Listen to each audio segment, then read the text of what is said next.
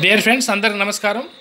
మన వాద మిత్రులకు ఆయుర్వేద మిత్రులకు అందరికి కూడాను నమస్కారం తెలియజేసుకుంటున్నాను. మిత్రులు మనిషిల కట్టు గురించి అడిగారు. దాని గురించి మీరు కామెంట్ పూర్తిగా పెట్టలేదు మిత్రమా? మీరు మనిషిల కట్టు చేసుకొని ఏ రూట్లో వెళ్తారు? ఆయుర్వేదం వెళ్తారా? వెండి మీద వెళ్తారా?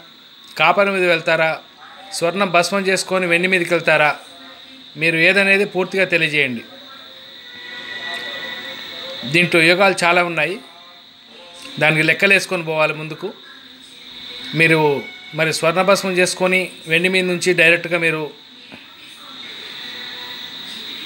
బీజాన్ని భస్మం చేసుకోవాలి మనుషులతో. దాని మీద వెండి మీదకి వెళ్తారా? లేకపోతే కాపర్ మీద నుంచి ఇది మనుషుల కట్టు కట్టుకొని మరి కాపర్ మీద నుంచి వెళ్తారా వెండి మీద నుంచి వెళ్తారా ఆయుర్వేదంలోకి వెళ్ళాలా లేకపోతే ఏ భస్మంకి వెళ్తారు మీరు అనేది నాకు పూర్తిగా తెలియజేస్తే నేను దాని గురించి మీకు ఏ రూట్లో కావాలంటే ఆ రూట్లో నేను సమాధానం తెలియజేస్తాను మిత్రమా?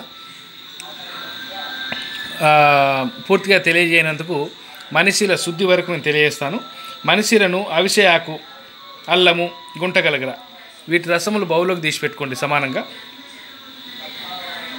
ఒక్కొక్క దాంట్లో నానబెట్టండి. ఒక్కో దాంట్లో ఏడు సార్లు నానబెట్టాలి. నానబెడితే నానబెట్టి ఎండించాలి. అన్ ఎండిస్తే మనిషిలో మాత్రం మంచిగా శుద్ధి అవుతుంది. ఇంకా శుద్ధులు చాలా రకాలు ఉన్నాయి నేను ఇప్పుడు చెప్పింది ఆయుర్వేదంలోకి వెళ్తుంది. వాదంలోకి కూడా చేసుకోవచ్చు. వాదంలోకి కావాలంటే మీకు ఇంకోటి తెలియజేస్తాను.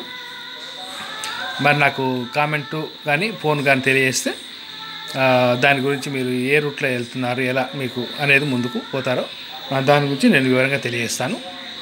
చాలా ఉన్నాయి మిత్రమా.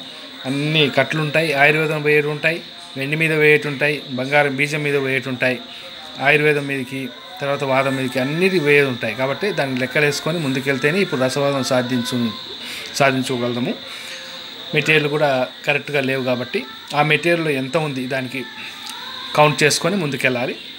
ఏ దాంట్లో ఎంత ఉంది? ఎప్పటికప్పుడు ఏ మెటీరియల్ మనం ఎక్కిస్తున్నాం? ఏ మెటీరియల్ ఎంత కొలత వచ్చింది? ఎంత కొలతలో మనకు ఎంత రావాలి? ఎంత వస్తే ఆ యోగం పాస్ అవుతుంది అనేది మీరు తెలుసుకోవాలంటే పూర్తిగా మీరు కామెంట్ మంచిగా పెట్టండి. కామెంట్ బాక్స్ మూసేసాం కాబట్టి ఫోన్లో మీకు వివరంగా అడగండి. విసిగించొద్దండి. ఒకసారి మిస్డ్ కాల్ చేసి వదలండి. మీరు ఫోన్ చేసినప్పుడే ప్రశ్న సమాధానం ఉండాలి. ఎక్కువసేపు నానబెట్టొద్దండి. సమాధానం ప్రశ్న. మీరు ఎవరు నా దగ్గర రావద్దండి. ఏది కావాలన్నా ఫోన్లో అడగండి నేను తెలియజేస్తాను. ఓకే మిత్రం అందరూ నమస్కారం.